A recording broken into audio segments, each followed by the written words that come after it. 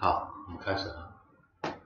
今天晚上和大家分享的内容是真修之路，呃，就是，也就是在呃我们现实的生活里面怎么修行。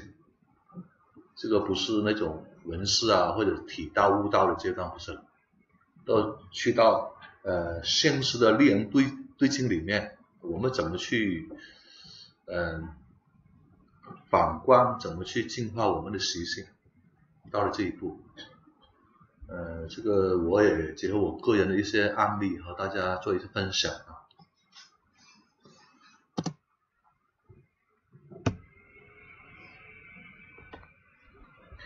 首先，当我们体道悟道之后，就可以建立一个比较就是正确的人生方向。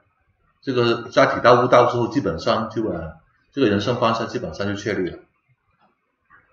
呃，所以就是说，大家听那个郭老师讲课的时候，很多时候郭老师会提到，哎，我们学习《道德经》可以协助我们建立一个正确的人生方向，这个就是这个道理。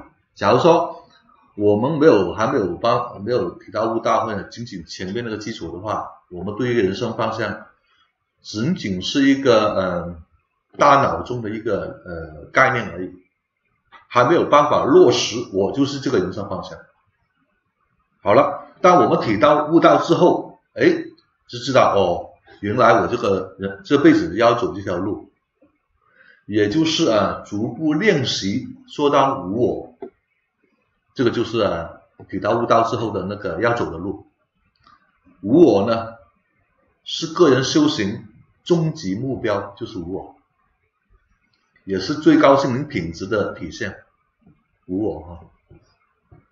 呃，当然，你的说法很多了，以道合一啊，什么心与空相应等等，那个不管那么多，反正就无我，呃，就是我们的一个目标和方向。无我的展现呢，其实哈就是无我无事了，也就是从良心出发，我们做任何事情，练习做到无我无事，尝试去从个良心出发去做，也就是呃。所以大家就是不要把那个无我啊看得那么抽象。当然，首先哦，在体大悟道过程当中，我们呢还没有体悟到无我，或者是空明觉这个阶段的时候，我们往往对无我是有点比较抽象的概念。哎，觉得无我好像好像什么深不可测、高不可攀。呃，什么像佛家讲的那个什么无我又怎么怎么怎么地，哇，好像什么金光闪闪之类的，其实哈没那么没那么抽象，没那么复杂。无我也就是说没有自我那种意识在运作了，也是无为那种状态了。那么呢，那既然我们呃体悟到无我，哦，是大概是一种什么一种体验之后，那我们练习把它做出来，也就是。那个做出来就是很简单，就是做到无我无私，就是那么简单。你体悟到无我，你还没有做出来，那不算那个，还不算开悟。就逐步练习把它做到无我无私了，哎，这个时候你才能达到一种所谓最高的一个心灵品质。这个所以无我就是我们的一个方向嘛。当然，这个也是空的特呃道的特征特性了。生而不有，为而不恃，长而不宰，功成而复去。所以郭老师反翻来覆去、翻来覆去的讲道的特征特性，也就是说，将无我的那个那种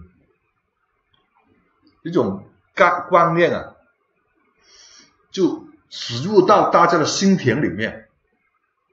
你有没有？大家有没有呃发现郭老师讲课的话呢？喜欢很很多时候喜欢重复不断的讲，有没有察觉到？一般人听起来，哎呀，唠叨唠唠叨叨的。尤其我一开始听他的课，我也是这样觉得。哎，讲讲课的你干嘛那么唠叨，反反反复复的讲呢？能不能简简明一点，对吧？我的那个理解能力还是可以嘛，感觉自我感觉良好。后来发现不是这样。当一个人不断的在你耳边唠唠叨叨的时候，其实哈，他是在你心田里面播下一个种子。大家理解了没有？我举个例子啊，像你，你平时大家都有一个很唠叨的母亲嘛，你母亲整整天在耳边唠唠叨叨的时候，哎，结果哪怕你觉得很反感，但是你却不知不觉的按照他的话去做了，就是这个道理啊。当然，郭老师的话不是这个层面了，他是在我们的心田里面播下一些智慧的种子，或者是高性力的种子播下去了。所以为什么我们要加强文思？就是这样。第一，我们不仅仅呃听那个郭老师呃，就是说比较珍贵的一个课程啊，妙解等等啊，还要平时他的课程啊，平时他网上的一些讲座等等，大家都要多听啊。这样的话呢，会让我们内在的那个就是潜移默化的呃去受到一些影响。总之在我们心田，当有一天啊那个有阳光啊，有雨露啊，还有。大地的那个土壤等等，哎，时机成熟，它就生根发芽了嘛，就是这样，是哦，在高精力里面，藤路里面混的话，没有什么坏处啦。嗯，好，一旦找到人人生正确的人生方向呢，就会坚定不移的走下去哈，而且越走越愉悦，越快乐。相反呢，你会走得越疲倦，而且厌烦。人生方向走的正确与否很简单，你看你。看你内在感受就知道了。只要讲走越走越苦，越走那个路越窄的话，哦，方向错了。好了，一旦有了正确的人生方向，就会怎么样呢？可以区分什么对生命是有益的，什么是无益的。这样可以让我们人生少走弯路。你清楚方向，你知道哦，这个对我有益的嘛，那我就做嘛，就走。假如说。我们对方向还搞不清楚，或者是我们还觉得很迷茫的时候，就没有办法，只能在不断的碰跌跌跌跌撞撞、碰这碰那的，才理清一条路出来。再来哈，还有一种踏实感，做事可以有有条有条不紊，不慌乱，很淡定。这份哎，这份淡定就出来了。有了正确的人生、明确的人生方向之后，哎，内在那份淡定自然就出来。而且做事的节奏松弛有度，不会逼迫自己。也就是说，什么时候我该缓一缓，什么时候该稍微抓紧一点，松弛有度。啊，这个是一种很潇洒的那种状态了。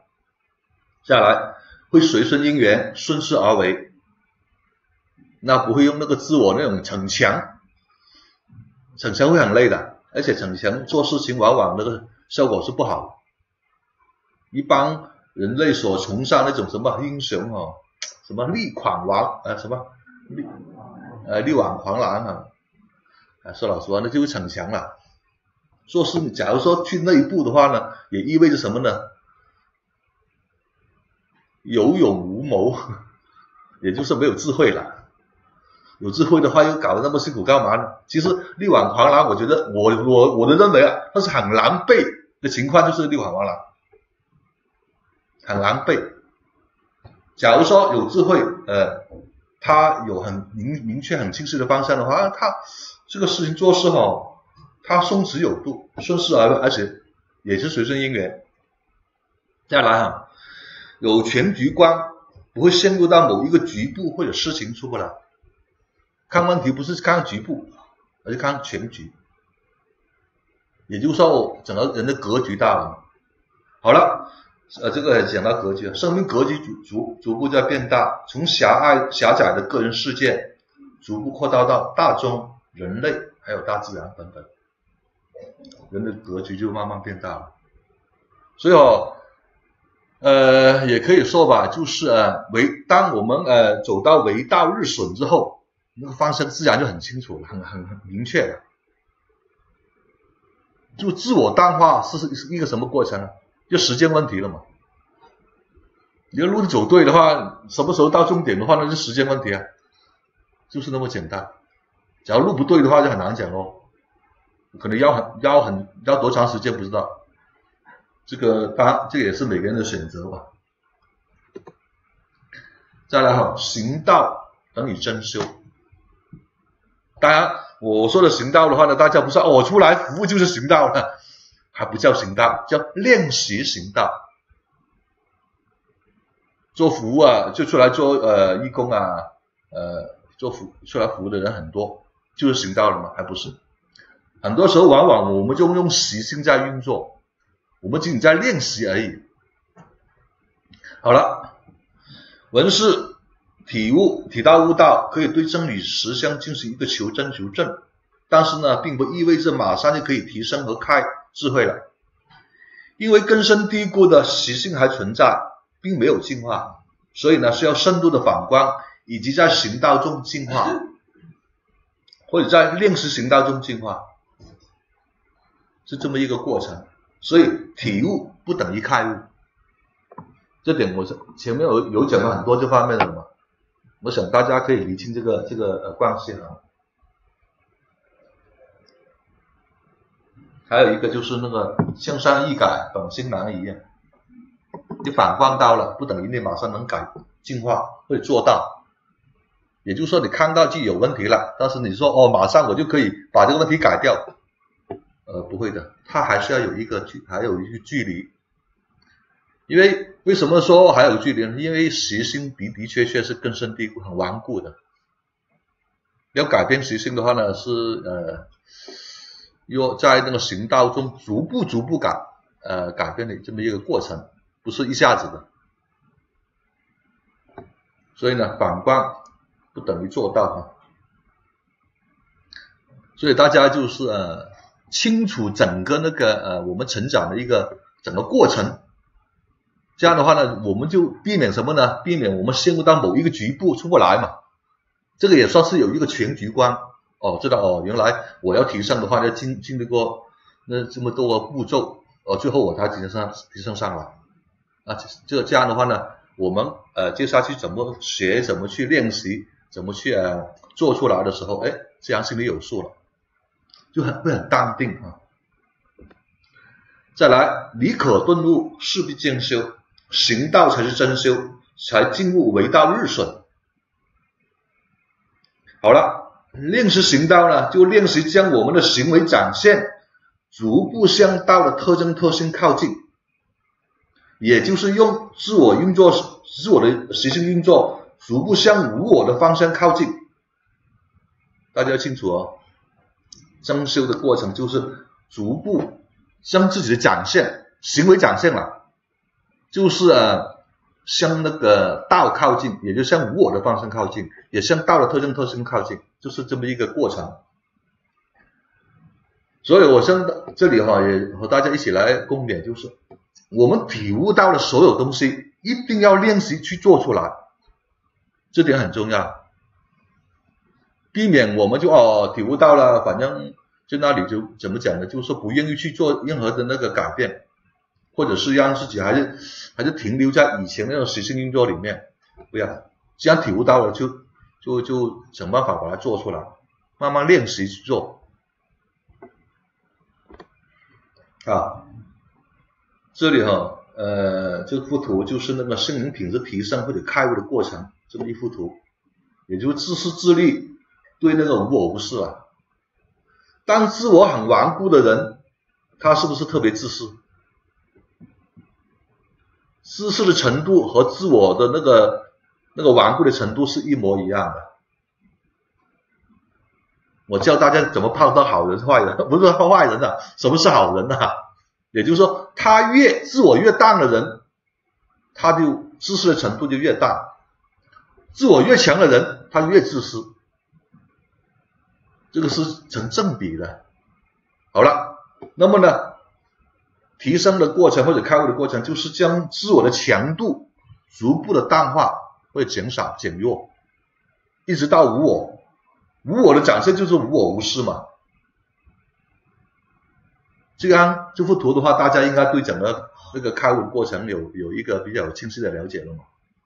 但是呢，这个不是停留在那个文字上面啊，或者理论方面啊，是要把它做出来，这个才不容易。有时候道理的话呢，现 在讲现在介绍那么讲的那么清楚了，那么浅白了，很多都清楚哦，原来就这个道理。要把它做出来，要练习把它做出来，这个是要我们要持之以恒，不断的深入，同时呢，不断的去呃。豁出去吧，排除一些所谓的障碍，就把它做出来，练习把它做出来。这条路就这样走，是不是把饭送到大家嘴边了？然后张不张开嘴，是不是是你们的事了？啊，再来哈，我们再对比一下哈，自我很强或或是我执很大的表现，以及呢自我逐步淡化、接近无我的表现，我们来对比一下两种人是怎么样的。呃，第一种呢，自我很强的人是怎么样呢？心量狭窄，格局小，二元对立。那自我淡化的人，他心量广阔，大格局，超越二元对立。再来，呃，第二点呢，呃，自我强的就是呃非常固执，身心僵硬，还有很强势啊。那么自我淡化的人会很谦卑、虚心，身心柔软，处下。第三点呢，还有内在脆弱。心门紧闭，有恐惧感，内在哈。那淡化的人呢？他内在是强大的，身心柔软的人哦，他内在是很强大的。我能处下的人，内在是很强大的。只有那些什么，呃，没办法处下，不要出头那种的话呢，内在才很脆弱。相反啊，呃，心门敞开，还有呃，而且还有踏实感。再来哈，自我很强的人，其实呢，自卑感这也是很重，不信任外境，习性冲动。那么相反，就是很自信，信任外界，还有冷静稳重。第五点呢，自我强的人是没有智慧的，而且内在是很苦。自我越淡化，智慧就程度就越高，内在是愉悦的。他他两种人是这样。大家不要自我呃呃看表，假如打假如大家看表面的话呢，就哎呀这个人很强势，很有力量，这个人就就很厉害，不是的，我们看的是内在的，内在的强大的表现，他就很处下柔软，而且包容包容心量大，能包容。那么呢，这个自我很强。内在很脆弱的人怎么样呢？很强势哦，我要争第一，或者是心量狭窄，包容不了别人，什么都要和别人斗一下。所以呢，这两种人的表现，两个极端吧，就做一个呃对比，那大家清楚，哎，我往哪个方向走？我选择选择好，坚持我的所谓的那些自我的话，坚持我是对的。那自我很顽固的人的话，往往说我死不认错那种，坚持我是对的。甚至我用生命去捍卫，我就是对的，哇，这个那自我是足够顽固的了。这样的人，你看看你，你就是那副德行啊，心量狭窄，格局小，而且内在是很脆弱的。所以有时候我们面对一个很脆弱的人，我们怎么样？不敢碰他，怕他受不了，怕他受伤，怕他哭。所以不敢碰的。我们一般呢，就是一一般的能感受到，对你你现在是脆弱还是强大嘛？假如脆弱的话呢，哎，我说一些好话，把你哄的，哎，舒舒服服的。你强大的时候才说一些真话给你听，要不你要说真话你受不了啊。包括郭老师也是也是看你内在能不能受得了，他才跟你说那些所谓开道的话了。所以呢，我们。内在状态哈，在一个明眼人面前的话呢，就是透明的，所以大家这个这个了解之后，大家就啊可以知道，呃，我们选择在哪往哪个方向走。好，再来就是说分享一下啊，我们反观之后怎么样进化？因为刚才我提到嘛，反观不等于做到嘛，做到了就进化了。好，第一。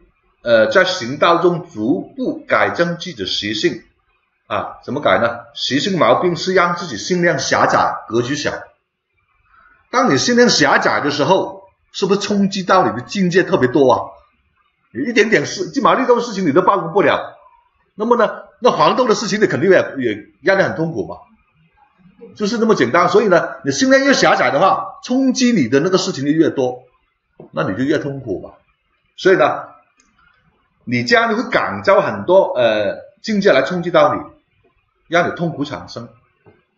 好了，当然之前我因为有反观到了嘛，这个是是反观后的如何进化哦，也就是说我反观到哦，以前我是有这个毛病，习性毛病，那么呢，同时呢，境界又冲击到我这个问题了，冲击我这个所谓的痛处或者局限的地方，哦，自然就清楚，是因为自己的心量没扩大，自己的问题所导致的，哎，所以呢，这个时候你就会把心量给撑大去面对这个事情。摒弃之前的习性毛病，这个过程就进化习性。当然哈，给境界冲击的过程还是还是有些不舒服了。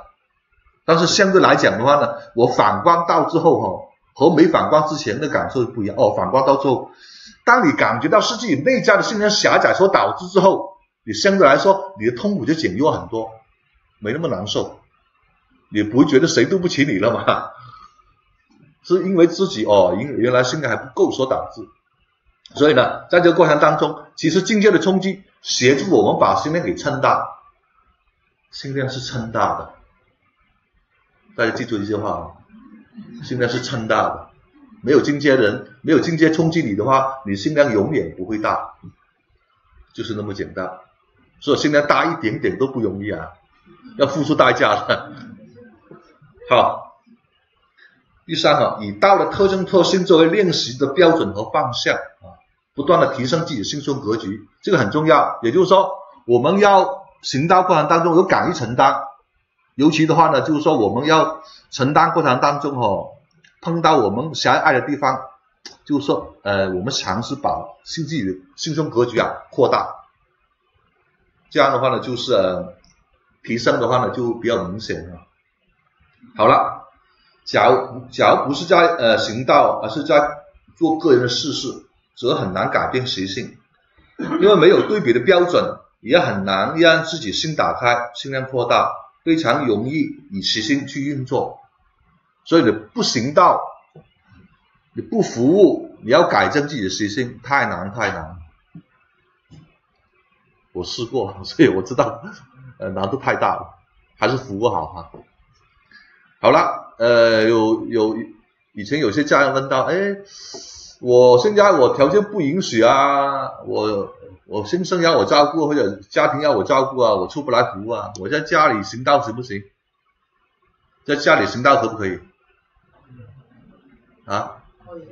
可以啊，理论上好像可以，但实际操作起来很困难，是啊。在家里行道，那些人他找很多借口不能出来服务，其实呢，就是找理由找借口，或者是家里你自己在强服出不来而已啊。哦，所以他找一个借口，哦，你反正你出外面也是行道，我在家里也可以行道啊。他把这个道理大拿出来的时候，好像你没办法反驳他哦。幸好我经历过，所以呢，我才知道这个理论上好像可以，实际上是行不通。你面对家里人，你怎么可能以一个道的特征特性对待他？你肯定以你的习性，以前我让你丑陋的，现在还让你不好看，也是按照你习性在运作，哪有那么容易啊？其实哈，你要在家里行道哦，到了这个阶段之后，除非你在外面已经行道了，很熟很熟练了，你回到家里才有可能行道，要不你做不到。所以哦，以后大家听到，哎呀，很多人，我因为我做推广部长嘛，我整天哎呀，我把人扯出来服务，你出来服务，我出来承担嘛，我整天就干这个活，很多人跟我讲，感觉他就跟我讲，哎呀，我不行啊，我我我我家里很多事情，特殊我走不来啊。或者是我要养家活口啊，那我知道他这都是理由了。他说我我我反正反正修行嘛要行道，我知道，当然我知道了，体道悟道行道嘛，我知道。呃，我现在一一年不允许，那我在家里行道咯，那我也可以以道合一啊，想一下可以，但做不到。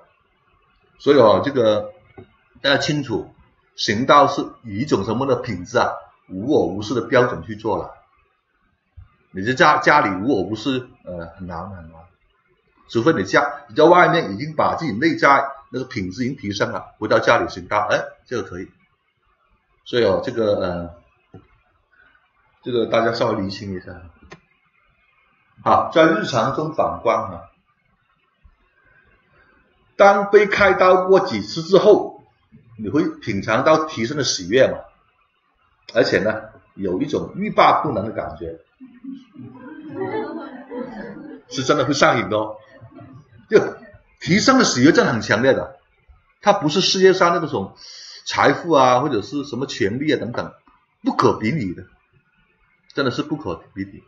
当你很简单哦，以前你站在那个地板上面，那个高度在地板上，突然间你提到那个讲台那么高，那种喜悦感是不是特别强烈？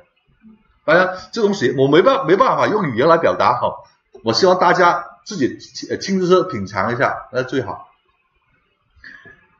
好，所以呢，他有这个呃品尝到喜悦之后哈，所以呢没有被开到，也想办法去反观，也想办法提升嘛。心里清楚，反观净化才是解决苦的方法，这个很清楚。就有什么苦的话呢，就清楚哦，我要反光净化。他第一个反应是这样哈。所以呢，在日常中，假如碰到境界的冲击，哎，就想着去反光。一开始呢，可能就说那个习惯还没形成之前哦，一开始是比较大的冲击和痛痛苦呢，它才会反光。逐渐的，一半的痛苦它会反光。到后来呢，很微细不舒服的感觉一出来，它就反光。所以哈，逐渐的，我们就培养成反观的习惯。当这种习惯一培养成之后，提升就会很快。因为进阶哈，我们每天都要经历啊。你说什么人生呃，什么不如意这事十常八九吗？整天有些所谓的不如意的事情来冲击到自己嘛，哇，那反观的素材太丰富了，是吧？你不舒服的感觉太多，你就反观了。当然，当然哈，一开始就是说你反光到之后啊，他呢就是说反光到一个问题，会把一一串的问题啊全部扯扯出来，也就是说反光到到位之后，他会解决一长串的问题。它全部扯出来，这个时候的话呢，整个你你感觉哦，哎，有相当很多就与这个有关的事情，基本上就没有办法，呃，让呃让你痛感感感到痛苦，或者是扯住你的心就不会了。但是呢，越来越类似哦，就是说，你说呃，比如说你反光到呃，经常反光之后啊，你会发现，哎，让你感觉到很痛苦的事情，就就不是不是不是经常有了，反而是那种比较。很细微的那个不舒服的感觉呢会有，当然这个呢和呃一个人他的那个明觉度啊有要求的，因为有些不舒服的感觉它比较微细嘛，那这样你明觉度够的时候你察觉到，假如说呃明觉还不够的时候，可能就是呃察觉不到让它过了，所以呢就是，所以现在呃前面大家静心的基础还是要有的，不管怎么样哈，只要我们培养成反观的习惯，哇那个提升就很快。后面的路就容易把就就就走的呃怎么讲呢呃充满喜悦感嘛。好，那么接下来的话呢，就是我也分享一下日常反反观的一些案例。涂色的案例哈，呃玩垃圾的儿子，这个就是我儿子。我感觉好像我比他帅一点哦。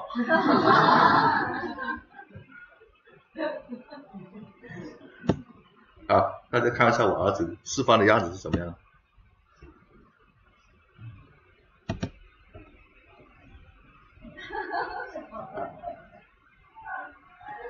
喂喂喂，来，旁边有你。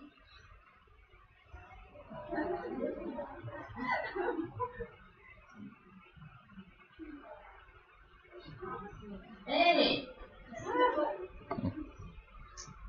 你说大家大家觉得小孩这样释放感觉怎么样？很可爱啊，很正常嘛。啊，对啊，而且他他不管你什么地下、台上、往里面，反正他想就随便抓来吃嘛。就就站在小孩角度来，他这个很正常。但从大人的角度来讲的话呢，这样是不是会很脏啊？掉在地下拿捡来吃哦，是不是有一种这样的一个？一种所谓的什么分别心啊，或者什么都好了，反正觉得他地下捡来吃是不好，啊，要接下来哈。有有一次发生一个事情啊，就是有一天吃完晚饭之后呢，那个饭桌上面有很多垃圾嘛。当我离开那个凳子呢，我儿子就冲过去，用手来拨那个垃圾，搞得垃圾地上也有到处都是嘛。于是呢，我有点生气了，我就好吼了一声“不要动”，就轻轻打了他一下他的手背，并且呢，就是用那个眼睛瞪住他。当时我的感觉是不舒服的，哎，这个时候出来了不舒服的感觉出来，哎，这个时候他他不出来我就反光嘛。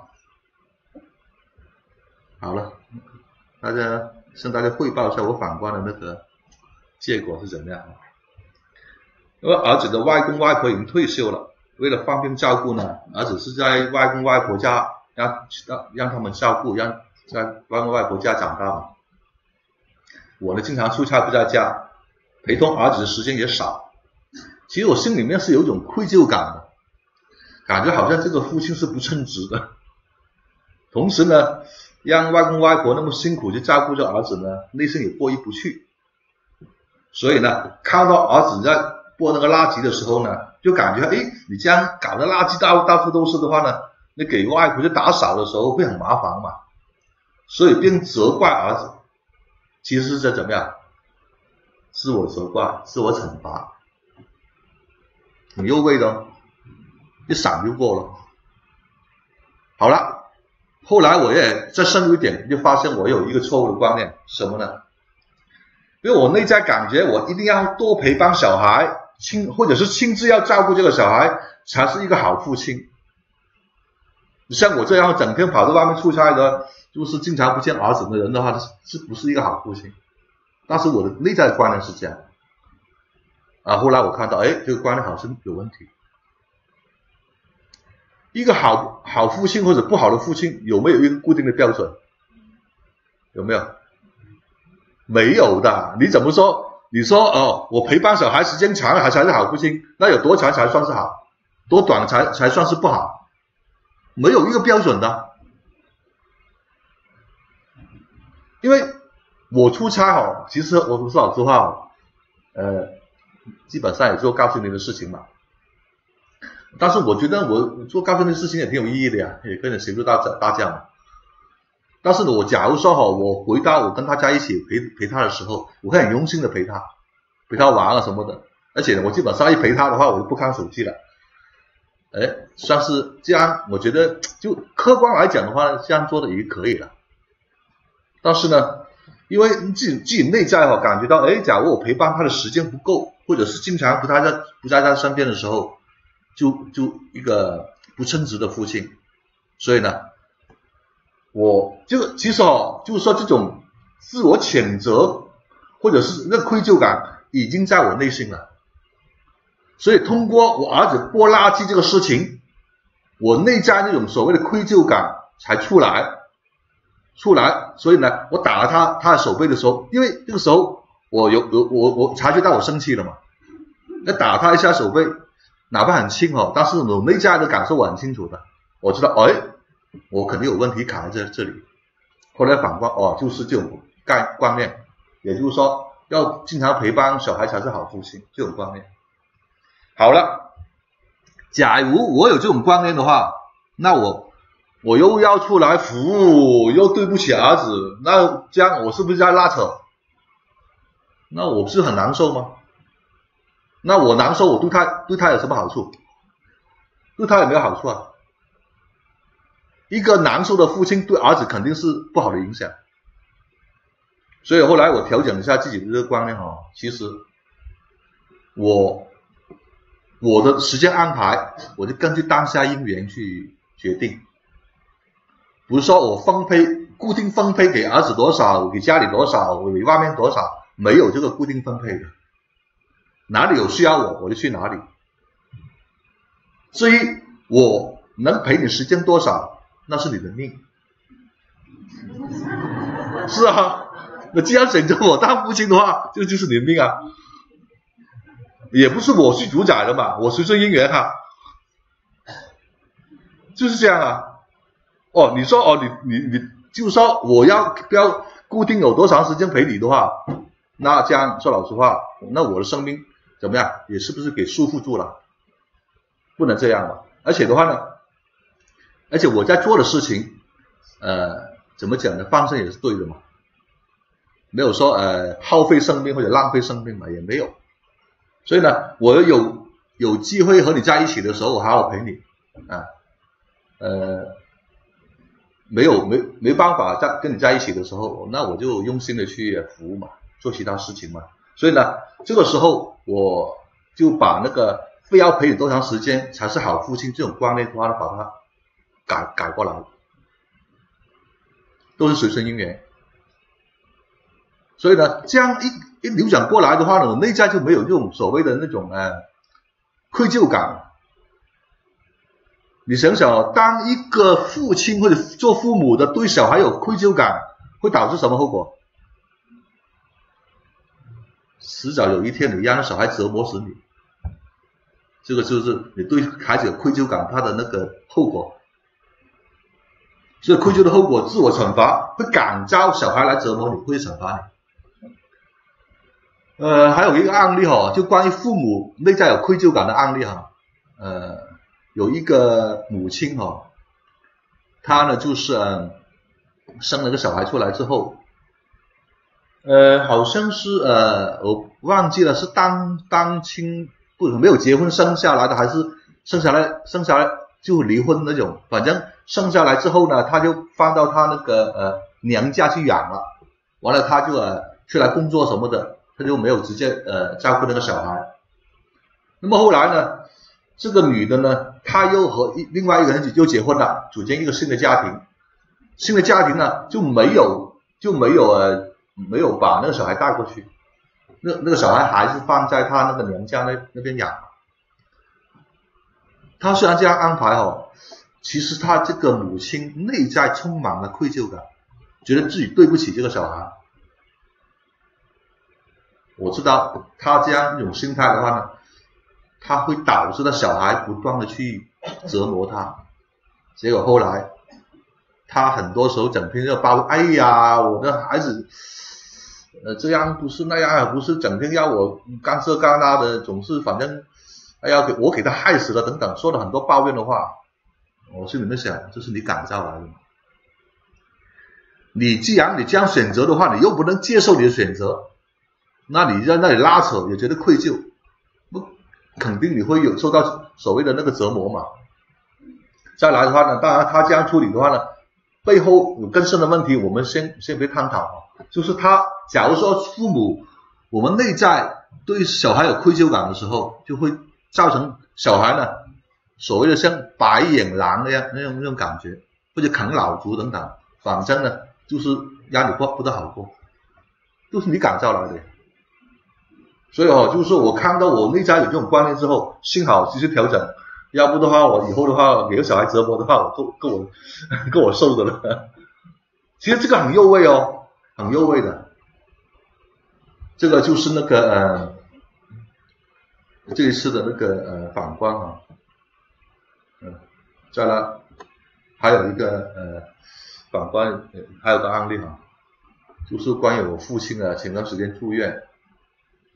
因为 在在几年前，他也曾经有呃有过那个什么冠心病，那个什么心脏那个出现一些问题嘛，那个现在过了几年之后，现在那个心脏又不行了，呃，就是全身有点肿啊，或者是气喘等等很多症状嘛，呃，后来我送到到送到到医院的话呢，就是呃他的情况还是比较严重。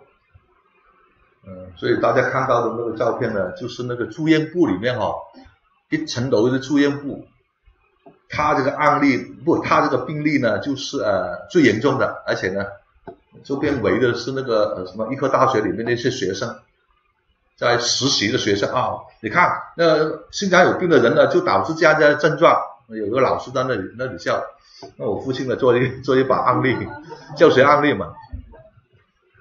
其实也挺好的哈，让学生学好一点，能可以多呃治好一些人嘛。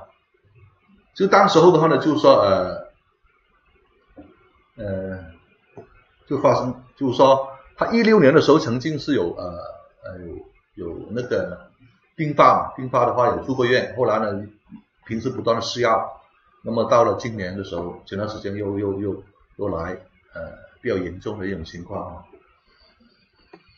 当时候哦，就是啊，那就是他的那个病那个病床后面的一个板啊，他一些什么呃信息都写在外面嘛。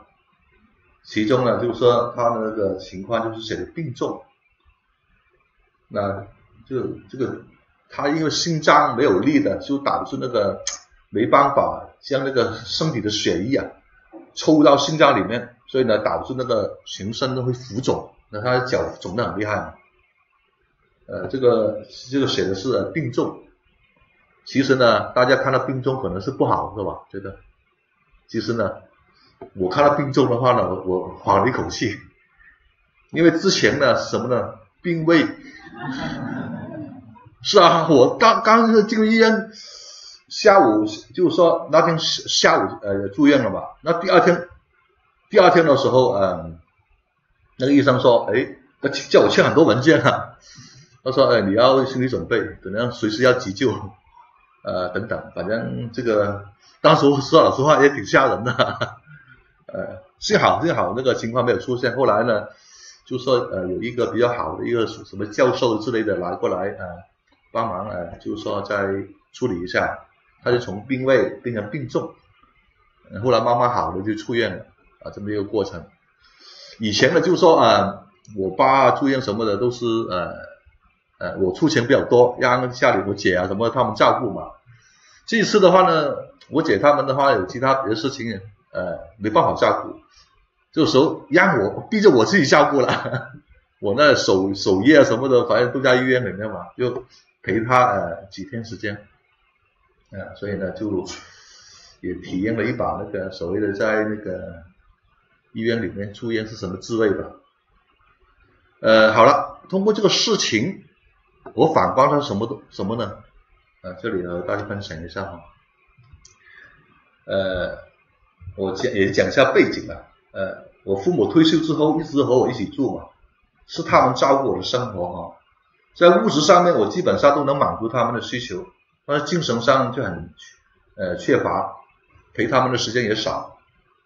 在大家大家庭上面呢，我是扮扮演那种家长的角色，有什么重大的决策呢，大家都会听我的，甚至我父母都听听我讲，自我感觉还算是比较孝顺的，对家庭很负责哈。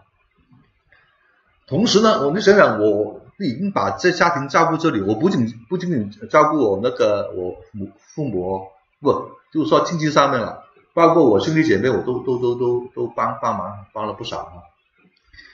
所以我以为我对我父母是没有依赖的。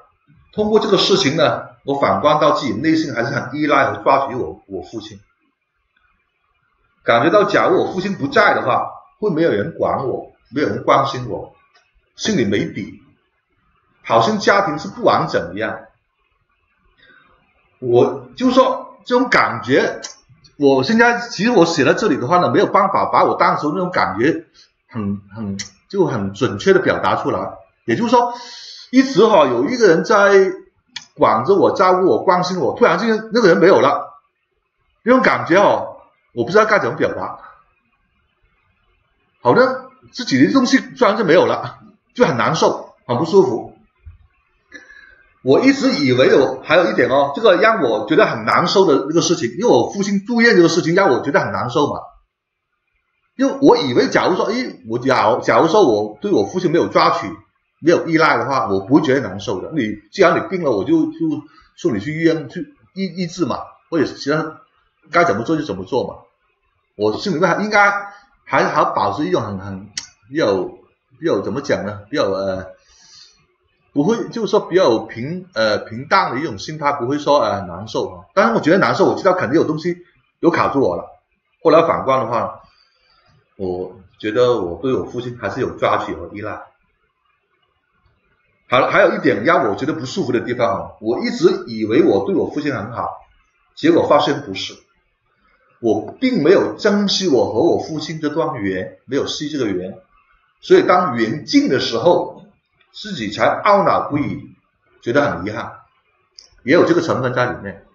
假如说，哎，我对我父亲，呃，都感觉到对他真的很好的话，就没有这种遗憾感、遗憾的感觉。好了，在这里的话呢，哎，所以那天晚那天哈，郭老师有一个家人不就问郭老师，他说在家里要照顾他的母亲，所以不能出来服务嘛。郭老师说不是说他不还没断奶吗？对啊，还抓取你的母亲嘛？对，我估计哦，这个话一般听起来真的不不理解，我怎么还抓取我的母亲呢？她都八十几岁了，我又那么大了，我还抓取她吗？你说以前假假如这样的话，郭老师跟我讲，我也听不听不明白，我怎么会抓取他呢？不会啊，当时通过这个事情，当时我就说医生跟我讲，我爸随时可能有有危险的情况出现之后，当时我就很难受了，甚至还想哭出来那种感觉。我知道，哎，我内在是抓取他，这个是这个骗不了人的。所以呢，郭老师那天讲这个话的话，哎呀。我这就是说深有感，呃，深有体悟了，的的确确是这样。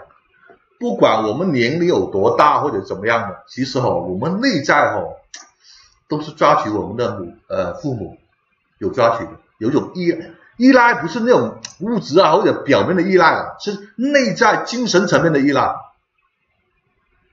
是这样的。所以呢，哎，这个时候等我平时我察觉不到的。平时因为没有直接冲击到我啊，所以我察觉不到。现在这个时候，我父亲很危急的情况之下，感觉他快要走的时候，哇！突然间我就那种不舍的感觉就出来了，不想让他走。其实呢，不想让他走，表面看起来是很孝顺嘛，是吧？实质是因为我抓取他，我依赖他，所以呢，呃，很多那个。在医院里面的很多那个作为子女的哈，看到父母的话呢，哎，那有什么病危的情况呢，拼命想办法让医院医生去抢救，不管哪怕是植物人，哪怕是怎么开刀动手术，都把他命给保下来。但是呢，当然这样做的话呢，呃，也要考虑到老人他的意愿，有时候的话，我宁愿很舒服的走，我也不想受那么多苦再走嘛。所以呢，这个要尊重嘛。所以呢，这个事情当然我提前跟我父母有商量过，假如碰到这种情况，你怎么选择？他说：“你让我舒舒服服的走吧，不要再折磨我了。”呃，他还是比较，他们还是比较开明嘛。但是呢，就是说，作为子女不一样啊，他才他不管，他不有很多子女哦，因为他抓取和依赖父母的，他他不会感受到那个老人他的那那痛苦的，所以呢，他不管怎么样，你有钱了就花多点钱。让医生怎么延长他的那个寿命呢？所以呢，呃，这个其实表面看起来是呃子女的孝顺，其实不是的，不是孝顺，而是内心依赖父母、抓取父母、舍不得父母走，这样大家清楚哦。好了，所以呢，我也反观到自己错那个一些错误的观念了，生命，我的生命哦。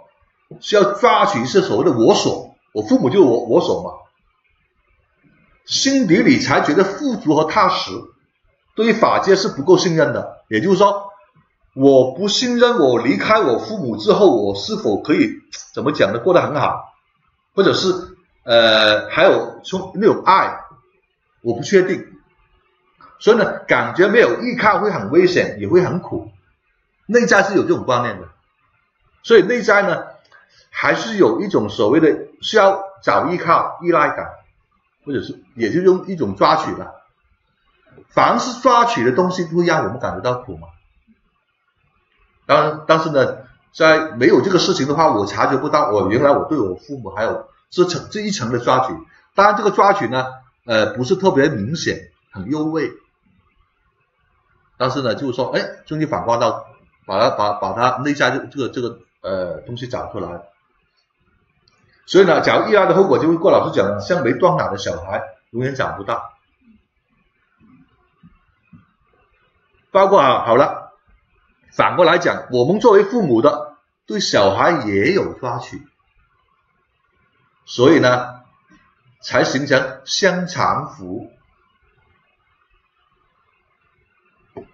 单方面的话没办法向强扶，是哎双方都都相互的那个依赖抓取的话呢，就形成了相强扶。比如说作为父母的，当小孩离开自己之后，哇也很不舒服很难受嘛。假有些家长可能有这方面的体会哦，这个就相强扶了。所以我们哦有姻缘在一起的，我们要惜缘，好好呃真诚正式的对待。当缘尽的时候，我们也没有遗憾，就放手让他走了，这样才是正确的一种心态啊。好，还有一一个那个案例哈，就驾驶违章。大家看到那个 图片的话呢，假如是司机的话哦，你知道这个情况有多严重了。这也是当司机的噩梦。我的驾驶证被扣了十二分。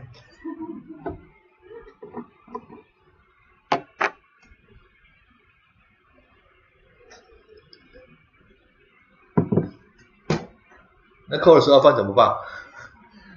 要参加七天的那个学习，之后再考科目一，考合格了再拿证，是这样的。呃，这个也是因为我送我父亲去去呃去医院，就是说超速了嘛。之前扣了九分，这次扣超速呢，现场被抓到了，又扣了三分，刚好十二分。而且呢，扣我抓我的那个交警他有点不太不太好意思啊，说，哎，你有没有其他驾驶证啊？我说没有啊，只有一个。他有点不好意思，哇！结果一点超速扣三分，导致我的话呢，整个驾驶本就作废了。所以呢，当然这个没办法了，就是说，所以当时候我父亲又这种情况，又又又碰到这样的事情，你说倒不倒霉？那那家就觉得好好像祸不单行一样。呃，后来呢，就是说我我父亲这边稍微明朗之后哈，稳定了。我就后来就去那个车管所那边，呃，就就处理这个事情了，呃，所以有个满分教育通知书，就是让我受七接受七天的培训，再去考试。哎，本来时间就不多了，本来就说，呃，前段时间我嗯学了五，就打算学完之后再再说嘛，再来呃这边嘛，结果学了五天，还有两天没学完，呃，后来有事情又去了趟厦门。呃，从厦门又来这里，所以，但是我回回去之后还要学两天，还要考试，呃，这个事情该面对该处理还是要处理啊。总之就很头疼，很烦。当时候，当时候不是现在了。呃，好，继续哈，反观到什么？感觉自己那个自己那个车技好哈，只要不被拍到违章就会超速，每年都收到不少罚单。但是却不以为然，依然我行我素，这个是我的那个平时的那个行为了。对待交通法规没有敬畏之心，而且会瞧不起这些法规，内在有傲慢之心，所以我觉得这样也是活该啊！你傲慢嘛，所以人家不罚死你啊。呃，其中哈，我这个也大家也反观了。碰到这个事情不反观，就让他就白费了嘛。所以认为哦，以前就有点内在哦那种观念哦，认为高薪品质可以凌驾一切。喂，你们你们为什么那么好笑？你们内在也有啊，你别以为没有哦，你没看到而已吧？是啊，就是那么傲慢，要我们要看到。而且还批判心灵品质低的众生，有的，我内在就有这种情况啊。其实哦，就是说，就感觉所谓的什么那个什么法交通法律法规东西的话呢，都是束缚人的东西。对于我告诉你的人的话呢，不应该是这样对待我，就心里特别傲慢。好了，傲慢的后果。你就被傲慢的对象打倒，就是那么简单。哎，之前我有分享那个，我在学校里面不是给他开除了吗？内在也是很傲慢所导致。想不到那么多年过后，我内在还是有那么傲慢，所以呢还要碰到这样的事情，来来所谓的惩罚我。我觉得哈，这个也其实他也在救我的命了。再这样傲傲慢下去的话，可能那个开车的东西哈，你乱超速的话，有危险怎么办？这很难说的嘛。所以呢，我们对那个交通法规是要有一个敬畏的心，要遵守。偶尔一点点可以了，不能，但是不能太太太离谱。所以呢，就就是那个呃。就反观通过这个这个事情哦，反观到内在还是有傲慢，因为往往哈你碰到所谓呃境界的一些惩罚，往往都是那个呃傲慢所导致。呃，这个当然，所以呢，现在这个事情哦发生之后，一开始我很难受，接受不了。我那那那个一点小事情哦，超出一点点的话，那搞得我那么麻烦，觉得很不值得嘛。那后来呢，经过一段时间的煎熬之后的话呢，啊，还有老老实实回来柔软下来了，还是该学习就好好学习，需要考试的好好准备咯，考不过的话，那就是考第二次咯。要考试要复习的嘛，所以呢，你要到时候回家还要复习那个交通法规，要不呢，到时候考不过怎么办？又很浪费时间嘛。所以呢，这个时候的话就很认真的对待这个事情。以前觉得这个事情好像，哎呀，就瞧不起这个事情嘛。当当然就是说也是没有那种敬畏的心。那现在的话，哎，我就是说很呃严肃的对待这个事情。以后反正在就是这种法交通法规方面还是要遵守。这个是也是这一次给我的一些嗯就教训。就内在也不要那么傲慢，就是要多有敬畏的心啊，遵纪守法。好，那么通过这两个反观案例呢，就我父亲还有违章这两个呢，也体悟到了抗拒无常变化所产生的苦。两种两两个事情都是一种一一些所谓的无常变化嘛。好了，只有接受这些变化，才能消除内在的难受。一开始我父亲发生这个事情的时候，我很难受。那总的来讲是就是一种无常变化。当然，我们深入到每一件事情背后的话，难受的背后的话，当然我们我们会反观到是我们的那些呃习性毛病有问题嘛。但是呢，在无常接受无常的方面的话，也就是说，呃，自己还要有东西给卡住，所以呢才不能接受。接受不了无常变化，是因为打破了自己内心的舒适圈，舒适圈，自己不得不重新适应新的环境。也就是说，本来之前我的时间安排好好的，怎么走怎么走，都安排好了那个日程，结果呢，违章的事情一来了，我要腾要腾出几天时间要学习，还要考试，所以呢，就是说，哎，就把之前的东西给打破了。所以呢，你要重新适应新的那个。安排的时候你就有点 有点觉得难受，所以呢就没有办法接受那个所谓的无常变化哈。但是呢，呃，就当你你抗拒的话，你就很痛苦啊。所以呢，哎，这个时候你要软下来了，呃，接受它。而且呢，碰到任何困难，只要我们一步一步的把当下的事情做好，总会解决的。所以我就说，一般。碰到什么问题或者困难的时候，大家一看到，哎呀，前面还有那么那么多的难点，那么多的那个呃很难处理的事情，所以呢，就是说，哎，这个时候看到的话呢，就让自己处在一种就不能接受或者难受的那种那种那种状态。但是呢，我们不管前面怎么样，只要把当下的那个事情每一步事情做好的话，始终会解决到这个问题。这样的话呢，调整的话。就可以，就是说，呃，消除那种所谓的一些，呃，难受的那种呃心态。包括哈，我们随顺因缘，就是不抗拒无常的表现。随顺因缘就是不抗拒，什么因缘怎么来了，我们就随顺就好，跟着走。这个不是随波逐流哦，这是有智慧的体现。随顺因缘，而且呢，随顺因缘也是一种，嗯。类似于用无我的状态、无为的状态去运作，就随随应缘，不是随波逐流哈。所以呢，就是呃这两个案例里面的话呢，也让我看到哈，呃，这更深刻的体悟到抗拒无常是让我痛苦啊。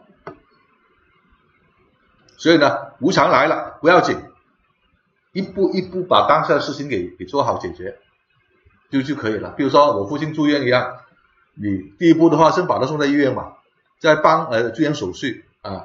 该怎么去照顾的，或者是和医院那边和医生怎么交涉的就做呗，一天一天天做下去，做到他病情好为止啊，啊，他病情不好的话我们也接受嘛，所以呢只能这样，没别的更好的方法，这样才让自己处在一个最舒服的状态。好，就是说案例讲完了，就是啊，最后的话呢再分享一个，就是发挥我们生命的意义啊。一个人生命的意义是在于能利他多少，利的范围，这个就是我们的格局。格局就是说我们利利的面有多广，就是一个格局嘛。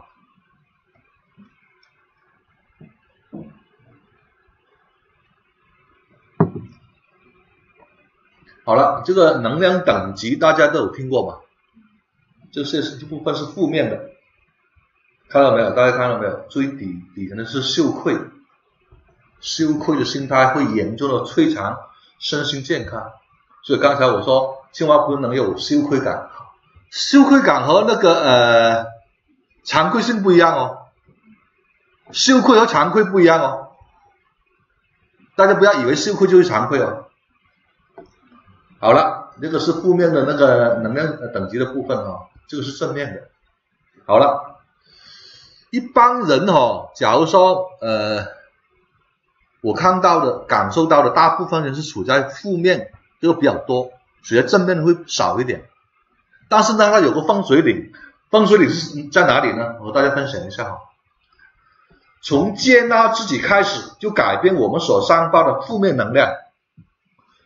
只有从接纳自己开始，能量才到一个转折点。也就是说，很多时候我们内在性的所谓心创伤也好。自我嫌弃等等也好，自我否定也好，就是不接纳自己，不接受自己，所以才导致那么多负面的东西。最不接受自己的是什么呢？就是羞愧的心，觉得自己不好嘛，觉得很羞愧嘛。最不能接受自己就这个就这个嘛，不能接纳自己，往往是被世间的审美观、价值观、人生观、道德观所影响，都是观念的问题了，都是所谓的习性，呃，观念之间的问题嘛。当我们开始散发正面能量的时候，我们生命才开始绽放。再来，生命绽放让我们会更美。同时啊，生命绽放的过程也是开悟醒悟的过程，这个都有关联的。比如说，有时候我们嗯开悟提升的过程，其实呢也是我们生命绽放的过程，就越活越精彩了。这个才是正确的方向啊！再来。还有和大家共勉一下啊，就郭老师讲过的两句话，大家要记住。他说，一个人对自己生命最大的负责，就是让自己早日觉醒过来；一个人对世界最大的贡献，就是让更加多的人觉醒过来。所以大家啊，就是呃，对自己生命负责，让自己觉醒，同时也协助更加多的人觉醒过来，这样的一条路会过得更有意义。所以感恩一切哈，感恩让我们心灵更富足。最后向大家表白哈，我爱你们。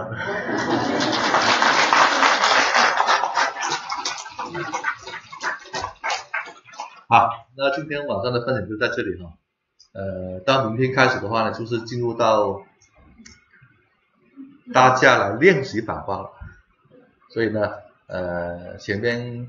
当后面的话，呃，还有其他老师去分享那么呢，呃，这次课程的我主题分享呢，我就到这里就呃，就基本就完了。后面呢还有其他呃老师分享。那么呢，后续的那个嗯反光练习过程当中的话呢，我会呃也会参与到和大家给大家一些建议吧。呃，不不能说开开刀哈，给建议或者是给个人的一些呃感呃感悟吧。所以呢，就是说希望在接下来从明天开始，你们开始深入去反观，把内在的问题给挖出来。同时的话呢，就是呃，郭老师也会呃给建议给大家，我们助理老师也会给建议给大家哈。好，好，就这样啊，下课。